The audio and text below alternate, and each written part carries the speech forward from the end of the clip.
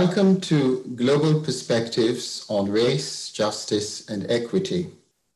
I'm Abi Williams, Director of the Institute for Global Leadership and Professor of the Practice of International Politics at the Fletcher School of Law and Diplomacy at Tufts University.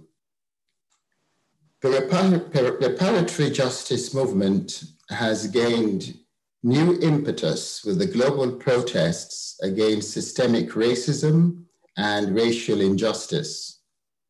Our guest today is Hilary Beckles, Vice Chancellor of the University of the West Indies. He's a distinguished historian, international thought leader, chairman of the CARICOM Reparations Committee, Commission, and a global public activist in the field of social justice and minority empowerment. We're going to have a conversation today on reparations. Sir Hilary in Kingston, Jamaica, welcome to Global Perspectives. You said that reparatory justice begins with, the under, with understanding the jet stream of the consequences of slavery. What do you mean by this? Well, tremendous pleasure and, and honor, Professor Williams, to be to be with you and your colleagues at Tufts and, and of course our, our audience. Uh, um, wonderful to be a part of this conversation. Well, we, we begin with an, an understanding that uh, fundamental crimes against humanity uh, were, were committed within the context of, of the colonization and the, the construction of what we now call the Americas. This, this Atlantic world that is now at the core of what we call the West. But in the construction of this modernity, of this, of this Western complex of business and democracy and politics, resided some fundamental crimes against humanity. And, uh, and it has taken a pretty long time to, to deal with these issues. It required a tremendous shift in the, the balance of power to be able to, to discuss these matters. And let us, let us take a sequential typology in that regard. It, it took all of the 19th century to, to eradicate uh, chattel slavery uh, from our Americas you know, beginning first with the Haitians uh, when they declared a republic in 1804, then, um, you know, through to the, the European uh, powers to, to end chattel slavery in the Caribbean uh, colonies. Uh, you know, the, the Americans uh, went to war, brutal, bloody civil war to, to get rid of it then through to Brazil and Cuba at the end of the 19th century. It took an entire century to uproot this evil from the modern world. Then it took us all of the 20th century to deal with some of the consequences of that, to, to, to achieve recognition of human rights, civil rights, the right to vote, uh, the, the, the, the, right to have demo, democratic participation. It took all of the 20th century, a, a heroic 20th century struggle to, to root these developments that we now enjoy uh, partially today. Now we are in the third phase of this process. The third phase, the 21st century, and we are looking forward to a 21st century that is quite different from any other before. We're looking forward to a 21st century of fulfillment, of justice, of, of equality for all. We're looking forward to the full blossoming of, of democracy and justice in this 21st century. But, but to prepare for it, we have to repair what took place in prior centuries. So this grand preparation, this grand preparation for this magnificent 21st century that we're crafting and laying the foundations for, the preparations requires reparations. And, and, and that is the subject of which I spoke, the quotation which you iterated. You've said that we need to repair for uh, the crimes, heinous crimes, which were, were committed in earlier centuries. And recently, some major British institutions and companies have issued public statements of regret for their role in the transatlantic slave trade. Uh, for example, the Church of England says its links to the slave trade um, are a source of shame. How important is apology in reparatory justice, and how important is it in repairing and atoning for these crimes which you mentioned? Well, it's, it's important, I believe, to have uh, uh, an, an, accurate concept uh, that depicts the concept of apology. It's, it's important to know what it, what it actually means, you know, because we, we tend to use it loosely, but we must, we must also uh, use that concept technically. An apology is to be distinguished from a statement of regret.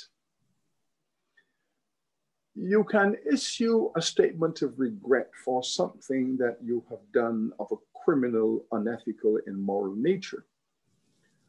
And you can walk away from it, and that is the understanding. An apology, however, is to be distinguished from a statement of regret. An apology is a three part concept in which you say, I do regret uh, what I have done. That's the first part of it.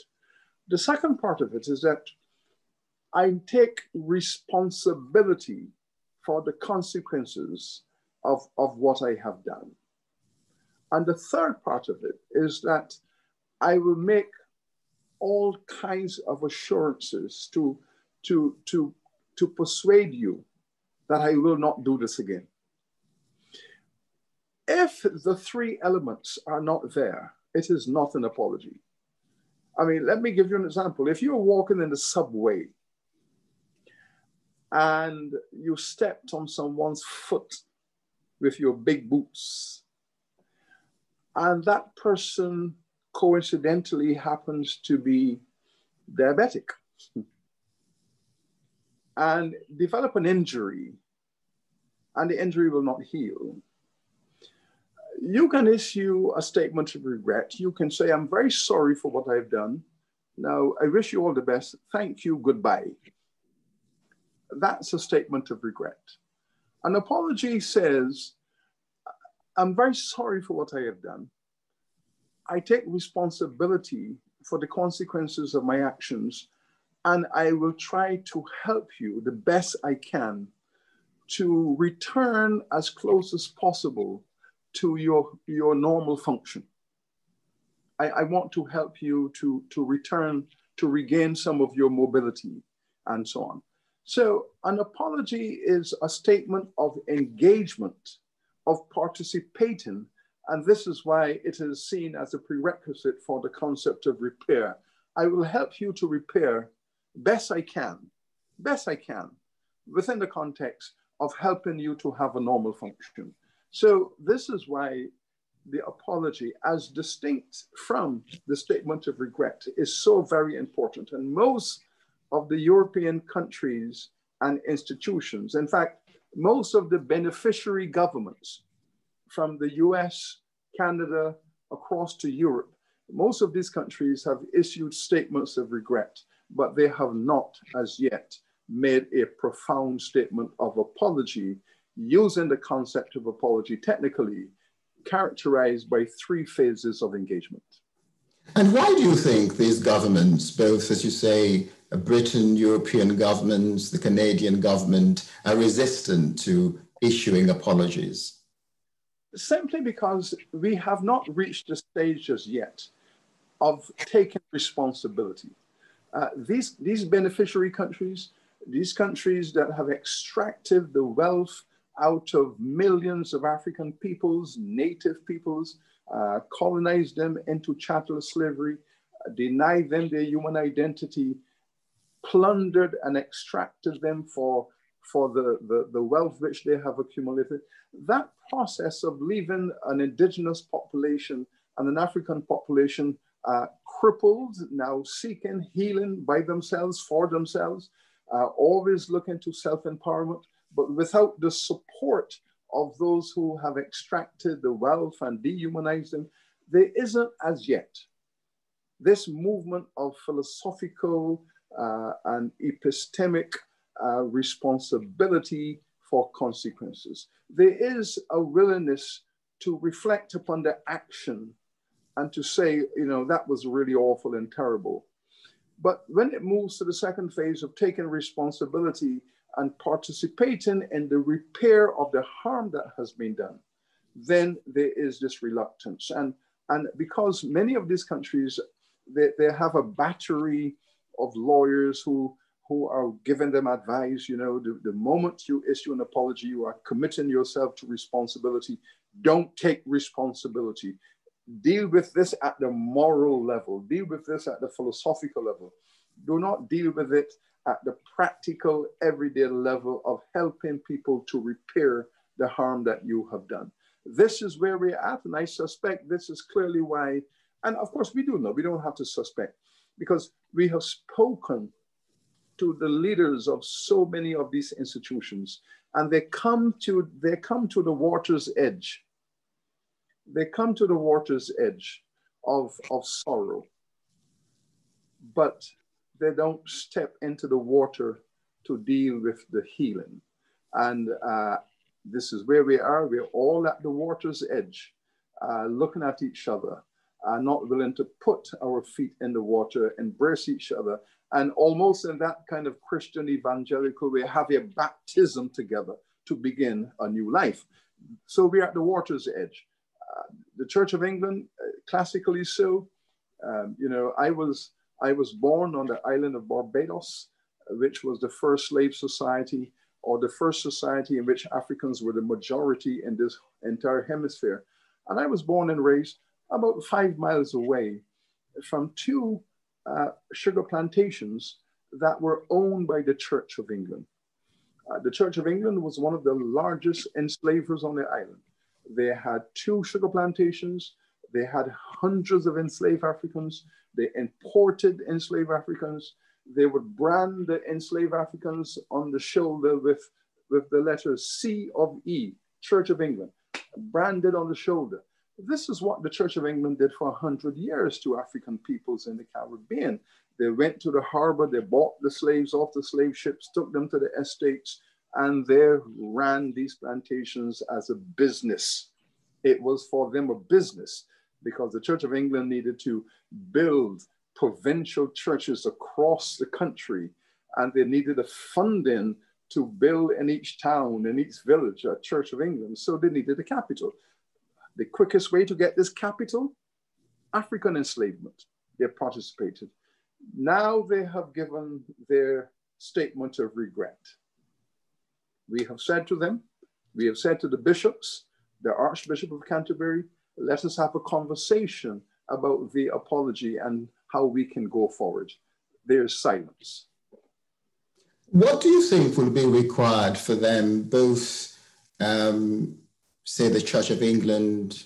Uh, there are also companies, I know Lloyd's of London also issued a statement of regret. What will be required in order to get them to take this next step towards responsibility?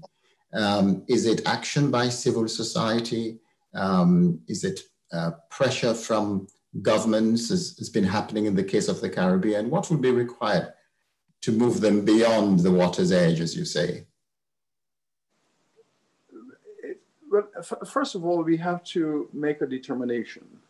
And this determination as to as to whether there is there is goodwill that needs to be activated and strategies of uh, strategies that are mutually um, respected could be brought to the table for adjudication. In other words, do we in the reparations movement, do we have an obligation and a duty to create models of healing models, models and concepts and principles to bring to the table that will enable everyone to be comfortable in that discussion.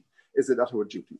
Or whether, in fact, there is no goodwill, there is no open mind, there remains the traditional strategy of if we can tough this out, we can get through it.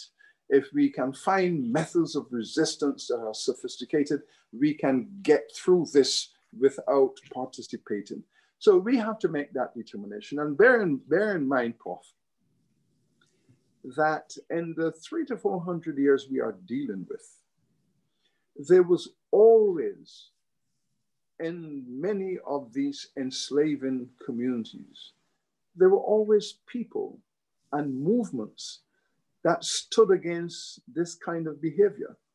In Europe, and the Americas, there were always people who were saying, what we are doing is wrong. It's morally wrong.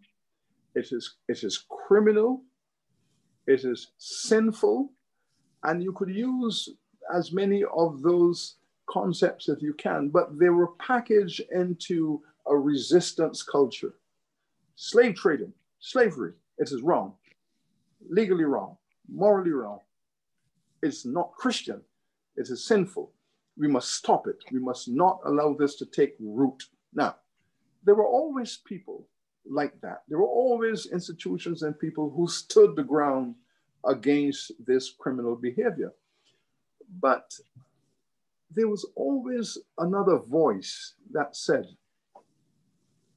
this activity this institution, we have defined it to be in the national interest. And therefore, all of you who are standing against this business enterprise of slavery, who are standing against this social enterprise of racism, all of you who are standing in opposition are standing against the national interest and therefore you will be silenced.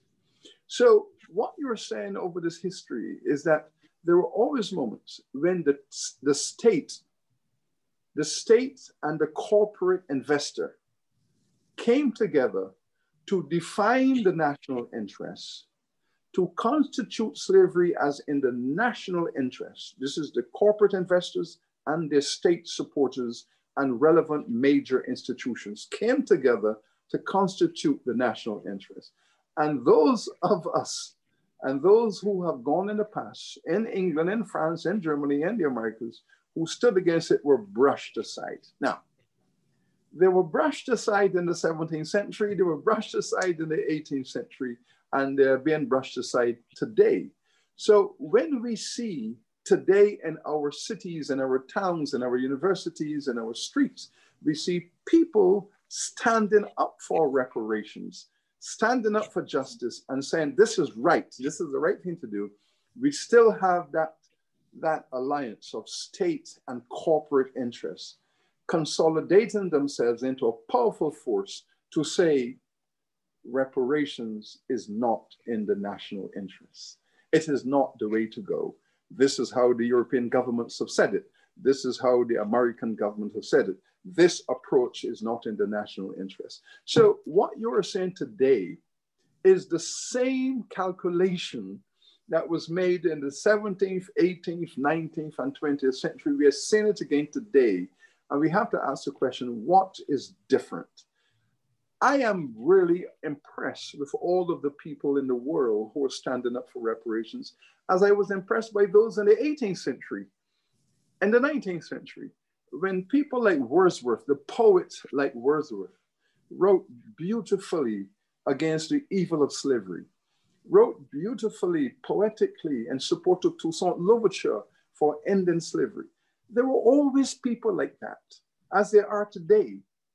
What is important, I think, for us to ask, therefore, when these major corporate institutions and civic society institutions, when they make their statement of regret. How serious really are they? Is there integrity in what they are saying? If there is integrity, then we can come to the table to work this through.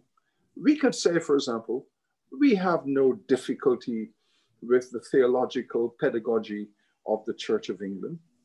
We have no major interest or concern with how Lloyd's of London participates in the global financial world. We do not wish to see these institutions fall. We do not wish to see them crumbled. We do not wish to see them diminished. And therefore, we are not the enemy. We are here just to discuss how we can mutually come together to clean up the mess that has been created. The mess that has been created, which is now damaging social life in the 21st century. It is not for the victims alone to be involved in cleaning this mess up. It's for everyone to sit to the table. So, in a nutshell, then, my answer to your complex question would be if there is integrity in these apologies, it would be a relatively simple matter for reparatory justice forces uh, to sit uh, in, uh, in, in mutual discussion and to work through methodologies of repair that are acceptable to the consciousness of this time. If there is no integrity, then there will be no conversation because you cannot have a conversation without mutual integrity. So the world has to decide whether it is ready for that conversation. But as I said in my, in my title to this presentation, the majority of citizens in the world, the jury, the vast majority of humanity, the jury of the world, have said, let us go forward and have that conversation. That, that, that we, we have deliberated, the world has deliberated. The judge now has a statement. The judge, no doubt, will be the governments of the world, the major corporations of the world. They're the ones who now need to say, we've heard the jury, let us sit down, let us decide how much and when. These are the issues, uh, I think, where we are today. You've said the, the jury has deliberated and come to the conclusion that reparations are needed. What kinds of reparations would you like to see? And what sort of guidance would you give to the judge about the nature of reparations? I, I have listened to reparatory justice conversations on a global basis. I've listened to those in the Caribbean. I'm a part of that movement. I've listened to those in Europe and North America, Latin America, Asia, Africa. I've I've listened, I've traveled, I've met the leaders, I've met the participants, I met the academics who, who are providing research guidance. So I have a pretty good sense of, of what is the global temperature and the mood. And I would say that there is a convergence around the concept of development, that many of the societies, the countries, and the communities that have suffered the consequences of these crimes have been left with economic structures, uh, with uh, community structures, with uh, individual human consciousness that, can, that continue to show the effects, the lingering harm and the lingering damage. So those who say, well, it was all a long time ago, no, it was not a long time ago. It is still today. It is still today is it is still at the individual level about detachment from their civilization and culture. It's about the experiences they've had then, their parents, their foreparents, and now they're also having. It's about the, your village and your town and your city and what has happened to it as a result of being from a different race. These are all major issues. And I think that there is a convergence around the concept of development, reparations as development. Now, of course, we know that on the, on the other side, uh, those who have benefited from the enrichment and who would wish to deny that or to say, well, it has nothing to do with me because it was my foreparents. You have all of that kind of story, but the evidence shows this is not true. You can benefit, you can benefit from the enrichment of your foreparents in your own time. You take that enrichment which you've inherited, you take it for granted, the privileges of your life you take for granted without realizing that these privileges have been historically accumulated and handed down to you as your legacy. And on the other side, those people like ourselves, Black people, have also had uh, something handed down. We've had handed down many damaging and painful and crippling uh, legacies that we are struggling with every day to, to resolve because the world is in need of repair. So, development. In the case of the Caribbean, for example, the governments of the region have established a reparations commission to, to not only investigate the historical evidence and the, the evidentiary basis for reparatory justice, but also to recommend methodologies of, of the cure and the repair. And the methodology has focused around the concept of economic and social development. These, these are islands and countries in the Caribbean that have had 500 years of massive extraction of wealth, leaving, leaving endemic poverty. We now need to rebuild institutional basis for development. So there's a perspective that focuses around the issue. You need economic development. What kind of support do you need for economic development? You take a simple issue uh, such as these countries moving from colonial status to nationhood.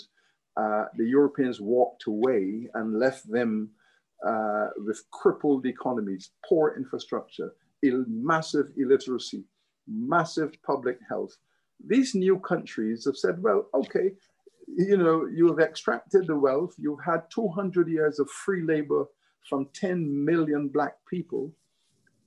Imagine 200 years of free labor from 10 million people, the wealth that constitutes. You, you need to return a part of that to build schools, to build hospitals, to, to build civic society institutions like museums, to help to eradicate illiteracy, to, to deal with issues of early childhood education. You need to make an investment in these infrastructures to allow for economic and social development and justice.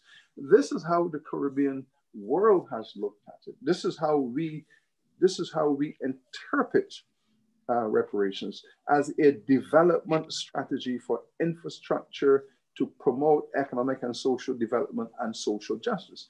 Now, in the, in the USA, I think there's also a fair amount of that. But there's also a perspective that says, in our context in the USA, deep into the 20th century, long after slavery into the 20th century, there was still the plunder of the Black community. I mean, the Tulsa Massacre. Uh, this was just our grandparents away who had their wealth taken from them who uh, were not able to pass on to their children their entrepreneurial accumulation. It was taken through plunder with the support of the state. So in, in, in some societies, the, the, the damage is so absolutely immediately in front of you that there are people walking the streets who are poor because their parents' wealth was taken from them in racist acts of exploitation. In those circumstances, uh, those are people who say, we have a right to have our domestic circumstance repaired. So individuals and individuals' families who can demonstrate this plunder of their accumulative wealth have a right to be repaired at the individual and the family level. That is not the approach we are adopting in the Caribbean, but it is a legitimate approach in the context of America. What we are talking about in the Caribbean is a broad economic development model in which we speak about a Marshall Plan for these islands to bring them out of poverty and to have those who extracted that wealth bring back a share of this. So the conversation, therefore, about reparations, this notion which we have heard in some places. Oh, reparations is about Black people standing around on, on street corners, not helping themselves, not helping themselves, but waiting for a handout. This is how they have defined it. We have never defined it that way. And I think that particular approach has been discredited. This is about a serious strategy. And I will, I will end this segment with this statement we were approached by persons in the city of London who have said to us in the CARICOM Reparations Commission, you are now pushing against an open door. We've heard you. And we believe that the Caribbean is in need of reparations. We, we did treat these islands very, very poorly with the way in which we went about the 200 years of free labor and extractions and wealth. And we admit our balance sheets have shown how we have become enriched like many other institutions from drinking from the well of slavery. But why don't you formulate a, a strategy that we can talk about? And one of our consultants have said, we need to create uh, uh, an investment development fund. And in the, uh, an, an, investment development fund is really a corporate instrument which is floated by a respected institution, let us say the IMF, the World Bank, or even the United Nations. And you, you put this investment development fund there, and institutions, individuals, governments that wished to place funds in this IDF are free to do so, and they will be invited to do so, so that you avoid the shame of having your company identified with slavery. Oh my God, companies are trying to protect their reputations from that imagery. But they might wish to have a conversation that is civil and humane uh, and future looking. And they might wish to put, a major corporation might wish to put 500 million pounds or dollars into this fund because the fund is dedicated to a cause, building schools, building hospitals, creating museums, uh, building online capacity for primary school children across the region, helping to repair the harm. And an IDF can be used as an instrument. And they have said, why don't you do that so that these major corporations could invest in the IDF and the IDF can roll out those resources for development. So the focus, I think, is of repair is really fundamentally about inclusive development, development with social justice. You've covered a number of important points in that segment. First, of course, um, two of the standard arguments against um, reparations by those who object to reparations. Oh, this happened a long time ago, uh, happened with my forebears, has nothing to do um, with me. Uh, black people want handouts. Uh, um, from white people, there's usually another ag- third argument, which I wonder how you'd react to it before we get back to the Caribbean approach to reparations and the American approach. And the third um, argument is usually, well, talking about reparations is divisive. Um, it's divisive at this point in time, thinking about what happens in the happened in the past. How would you react to that argument? Well, you, you begin by, by stating that, that reparations historically has always been about power and power relations. It is, it is those who have benefited from the crimes who are defining what is called the timeline. It is in the past. It is, it might be in the past, in the construct of these uh, beneficial uh, nations. Now, the nations that have extracted the wealth and built their development agenda, they are the ones who wish to define for the rest of us what is the meaning of time. For them, the notion of being in the past is a serious argument, but it is really just a discourse. It is not an argument. It's a discursive response to not wishing to engage. If you don't wish to engage, you need to find a strategy to exit yourself from the conversation. So the notion of, oh, it was a long time ago, is a discursive strategy of exiting the conversation. It's not a point, it's not an argument. Because, you know, I mean, let me give you an example of this. Who is my absolute favorite actor probably today uh, out of the out of England? I would probably say Benedict Cumberbatch out of the UK. Very talented, very impressive.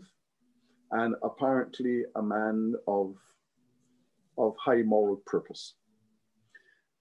But I was raised as a child on the, in the plantation complex that was owned by his family.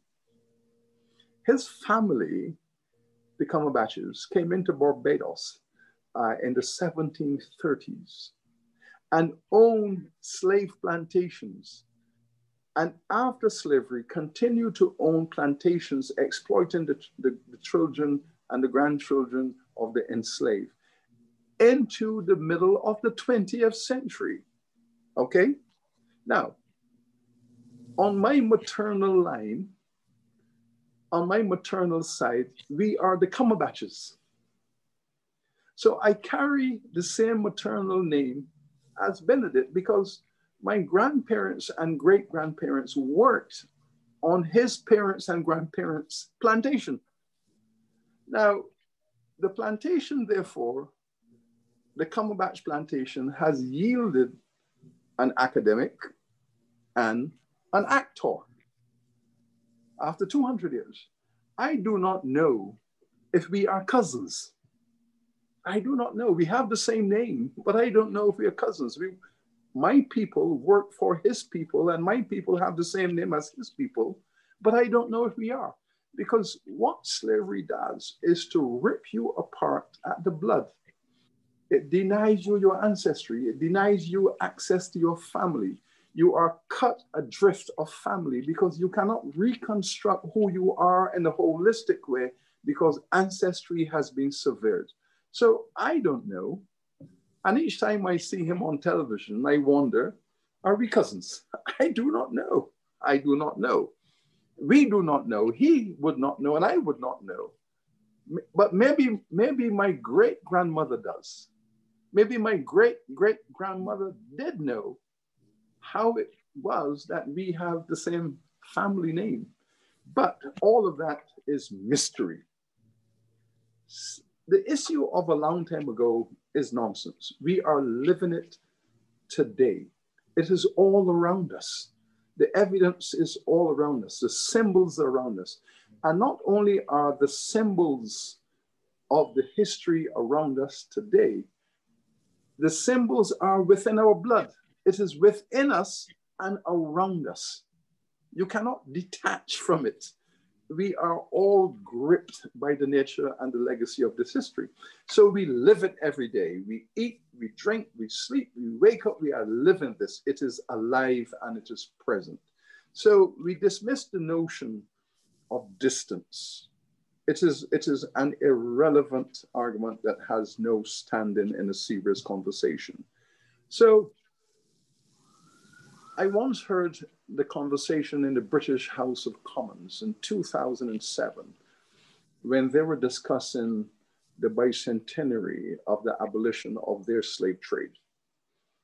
Uh, and the consensus in both the House of Commons and the House of Lords in 2007 was we admit that we have committed this horrendous crime and the consequences are dire and all around us. But you know what?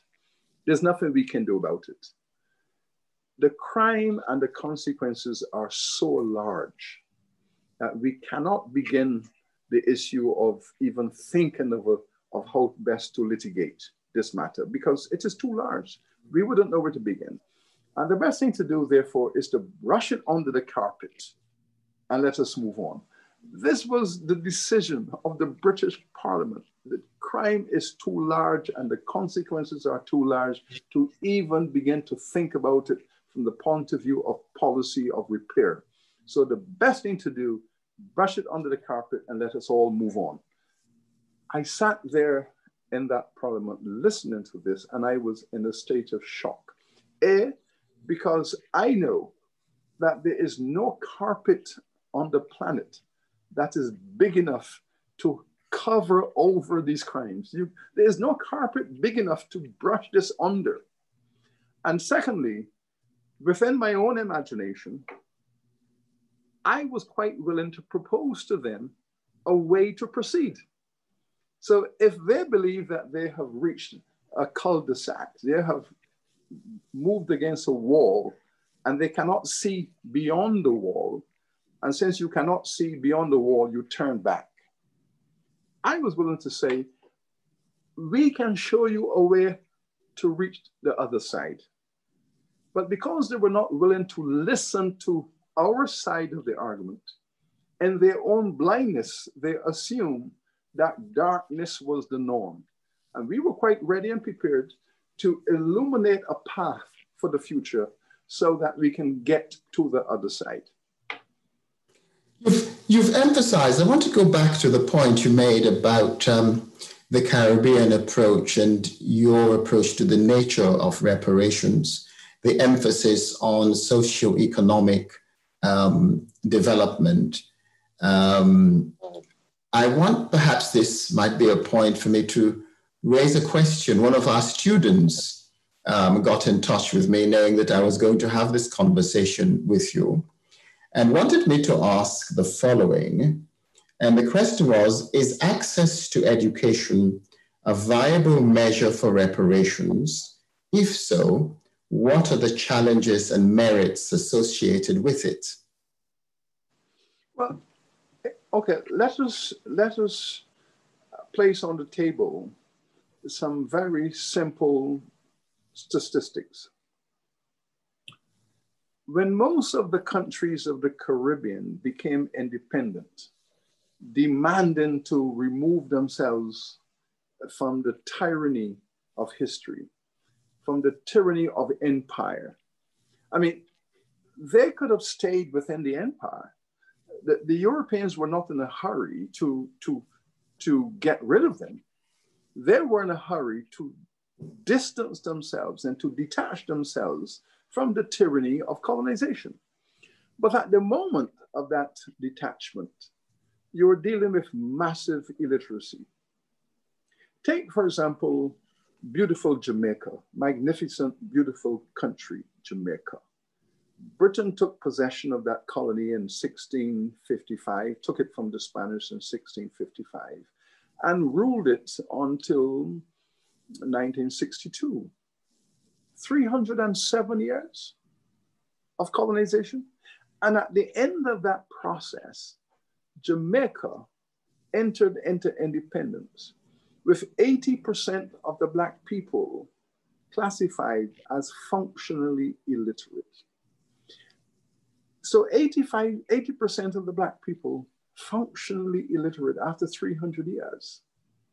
And then because they are about 90% of the population, they're told now to go and develop, go away and develop. So the leadership of the country now had to imagine a development strategy with a massive population that has been locked out of the educational system by Britain. Because the colonizer, the British government, had no interest in promoting education in their colonies. The purpose of having a colony is to extract wealth from it, it's not to educate the people. And so you could not therefore imagine transformation, economic development, social justice without a massive investment in education from primary to tertiary. But guess what?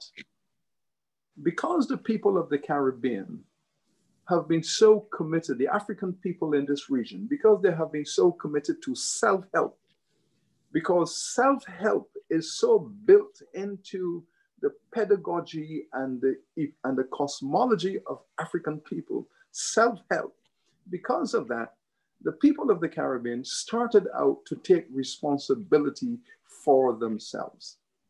But in taking responsibility for yourself and pushing hard and converting a colony into a nation, converting a colony into a nation without the help of those who colonized because they were told to go away, these countries have had to clean up the mess that they have inherited. One of the areas that they have not been effective in cleaning up is access to education after all of these years. And so the Caribbean now has the lowest enrollment in higher education, education in general, but higher education higher education in particular in our entire American hemisphere. Only about 15% of the entire population has had access to higher education.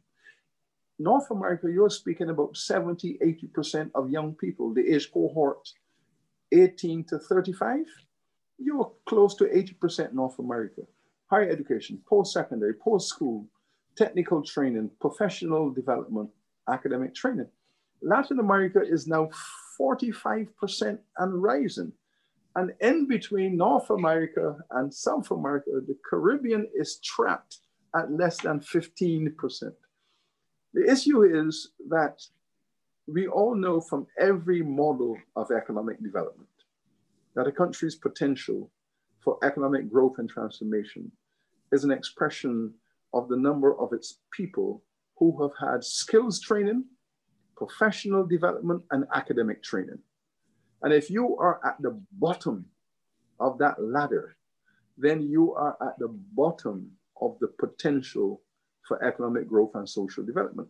And this is where the Caribbean is stranded at the moment because of its colonial inheritance. So a reparatory justice program for a region such as this should have to target as a central issue the issue of the massive investment in education at all levels to bring those people to a level of competitiveness. So it stands to reason, therefore, that access to education, higher education, especially because, of course, if, if you if it's if the if the plumbing is broken in the basement and your primary school kids are having a rough time with access as they are now post COVID, then you can see how this cascades up to high school, up to university, and numbers getting smaller. The higher you go, the smaller the numbers are.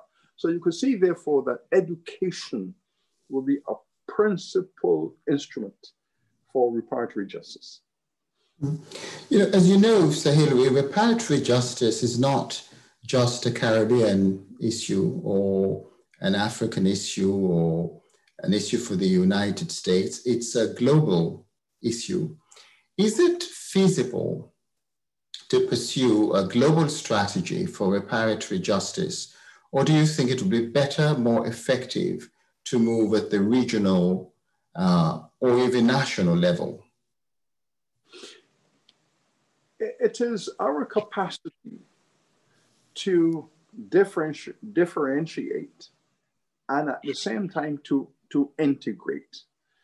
It is our intellectual ability to think strategically that while there are some matters that are of a specific local nature, when you take a perspective of your local problem, then you come to realize that it is indeed part of a regional and a global challenge. So, um, wearing blinkers might deliver upon certain certain objectives. Yes, I do agree, but wearing blinkers is not what this 21st century is about the issue of the indigenous genocide, the issue of the conquistadors of the West, taking their military apparatus into the world to conquer uh, indigenous people with this, with their more robust military technology, taking their land away from them, taking their culture and incarcerating them into reservations or slave ships. I mean, that became a global phenomenon. That became a global phenomenon. It finds manifestation in specific areas. When I, when I engaged the Maori of New Zealand to, to, to hear their response to what the British did to them, came and took their land and imprisoned them, enslaved them, drove them into uh, marginal spaces there to suffer and die.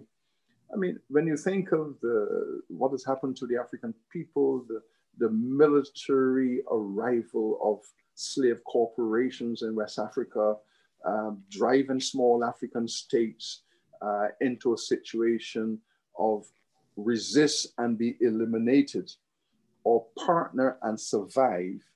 And then you have the dialectics of that, that one minute you might partner to survive, and then the next minute you're fighting to survive because it is about survival.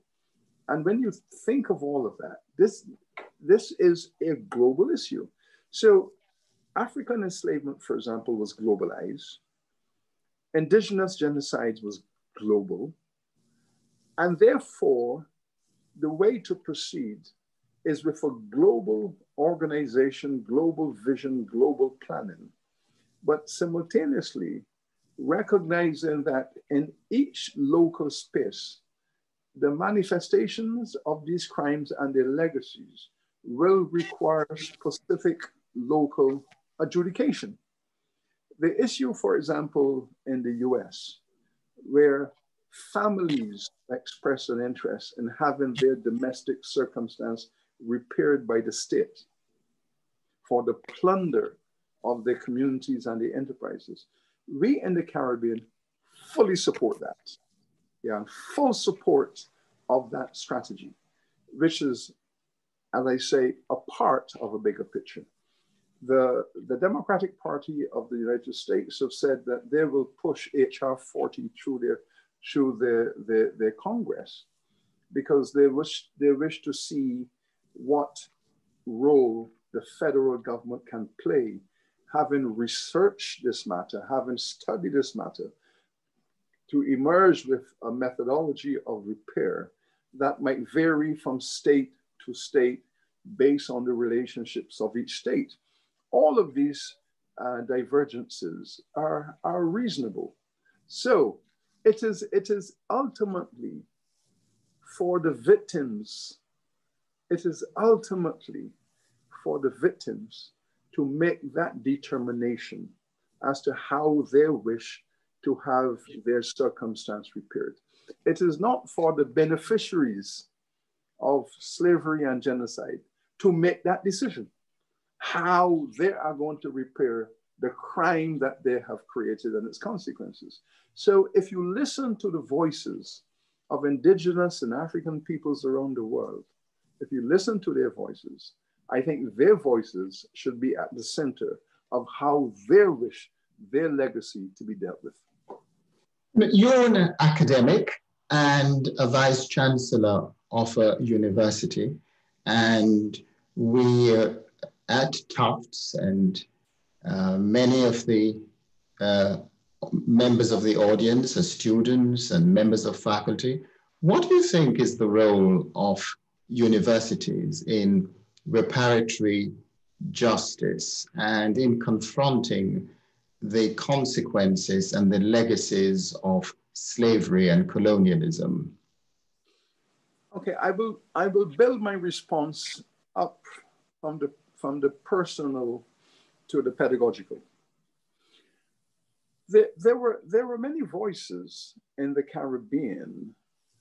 Um, you know, years ago when I was asked to take take up this position as vice chancellor of the number one university in the Caribbean, that a person such as myself, who is deeply embedded in the reparatory justice movement, should not be the vice chancellor of the university that the vice chancellor of the university ought to be a person who go to the big corporations and beg for funds and blah, blah, and so on and so forth. And, and therefore, uh, I face a significant headwind. But the fact of the matter is, I was fully aware that here is a very prestigious university and our campuses were built on slave plantations. I am here at, in Jamaica at our, our first ancestral, our main campus, our largest campus, the Mona campus in Kingston, which was built in 1948. But it was built on a slave plantation. It is called the Mona campus because it was built on the Mona plantation. This was a, a slave plantation, a a sugar plantation. A few years ago, we were building a magnificent state of the art medical faculty complex, massive project, given respect to how the campus started. The campus started as a medical school. It started in 48 as a medical school because it, the British government had determined that the, the public health of the Black people in its Caribbean empire was the worst in all parts of the empire. And therefore, in the context of pandemics of various diseases that were afflicting the poor people of the Caribbean, the British government is determined to build a small campus, a small medical college with about 50 students to study medicine to help with the issues of polio, um, diphtheria, cholera, uh, uh, and, and all of these diseases that were ripping through the poor Black community in their empire. So they started with a medical faculty. Fast forward 50 years, and we are now one of the largest medical schools uh, in the world, and we are building a structure to reflect our future plans. The bulldozers came in to dig up the foundation to lay the structure down. And when the soil was being turned over, what began to emerge was absolutely horrific. The bones of the Africans came up from the ground because it was a cemetery site. It was the site of the plantation cemetery where the slaves when they died, their bodies were just thrown into shallow graves and unmarked. And hundreds of enslaved Africans, their bodies were just thrown into shallow graves and covered over. That information had disappeared from knowledge. And so, in the middle of our campus was an unmarked grave of enslaved Africans which then brought home to us emotionally and spiritually the power of history within our immediate environment. So, therefore, as a vice chancellor,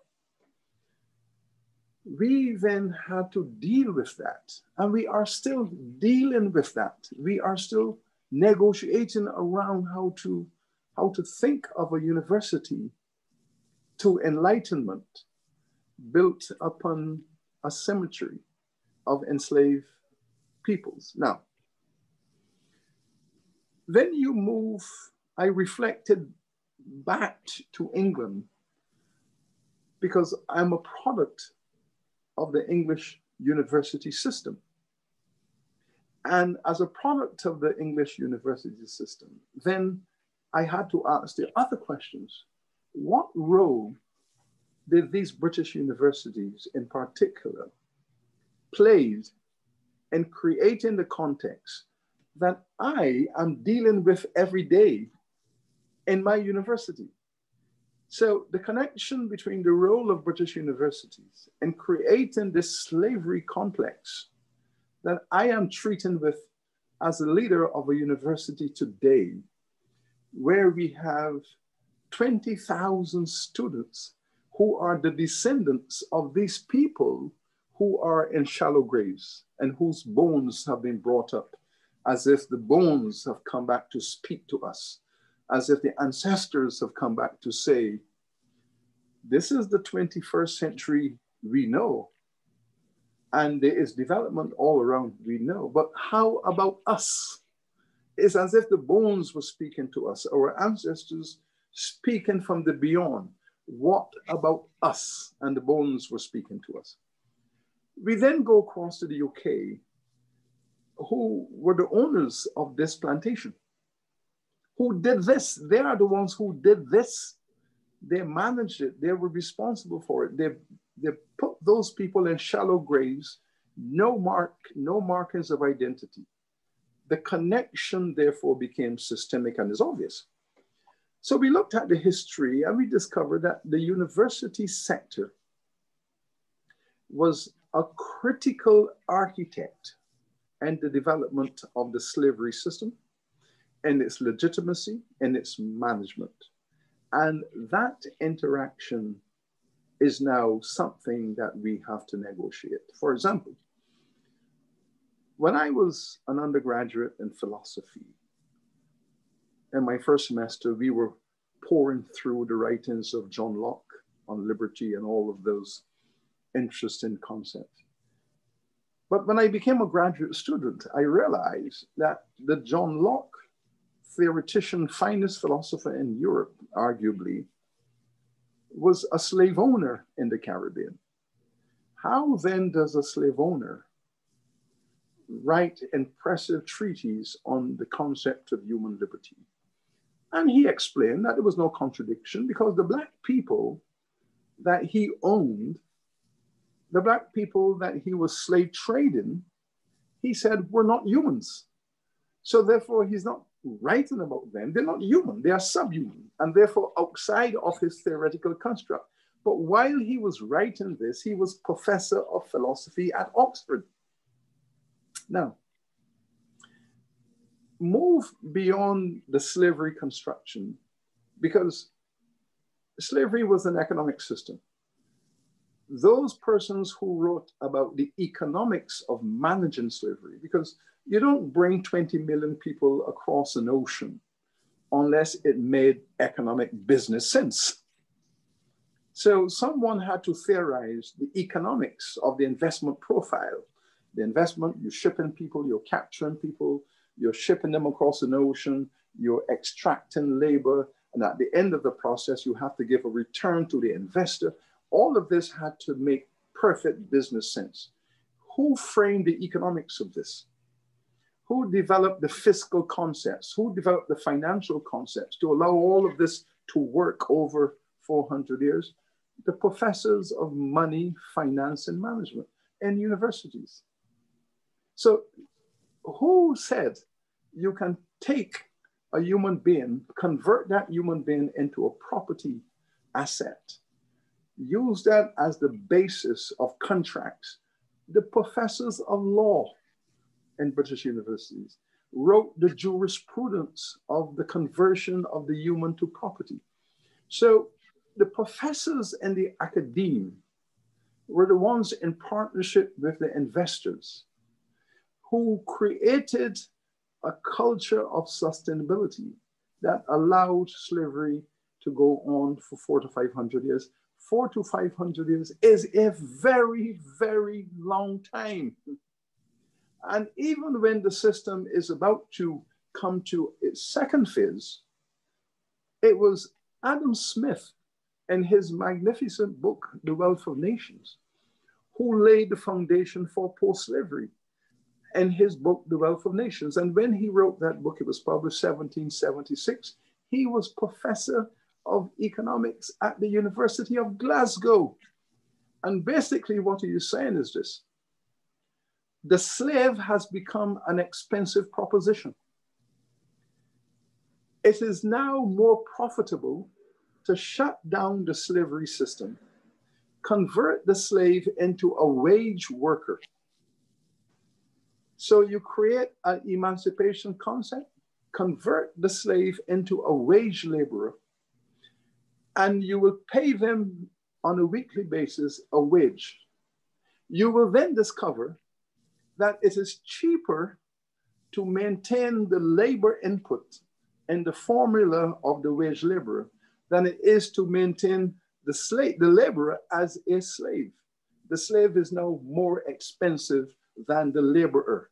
So advice to the governments, transition from the slave to the wage laborer, and you will find that your profits will increase, your wealth accumulation will increase, and he gave the slave owners the magic formula for emancipation as the pathway for another hundred years of extraction. He was a professor of economics. So the university sector played a critical role, not only in structuring and sustaining the slavery system, but also in structuring the emancipation legislation in order to sustain another hundred years of, of extraction. So the university system is embedded uh, in the slavery and colonization agenda. And I can say to you, I can say to you that on both sides of the Atlantic, on both sides of the conversation, whether you are managing a university, such as in my context, I'm, in, I'm managing a university built on a slave plantation with the immediacy of it. But at the same time, I was educated in the British university system that helped to create the product of slavery and colonization. So we are up to our neck in the university system in the history and legacy of slavery. Sir Hilary Beckles, it's been a pleasure to have you on Global Perspectives. It's been a fascinating and illuminating conversation, and thank you very much indeed. Thank you. Thank you, Professor Williams. It's an honor to be with you to share this moment and with all of your students and faculty and other participants. Thank you very much for your generosity and listening to this voice from the Caribbean. Thank you.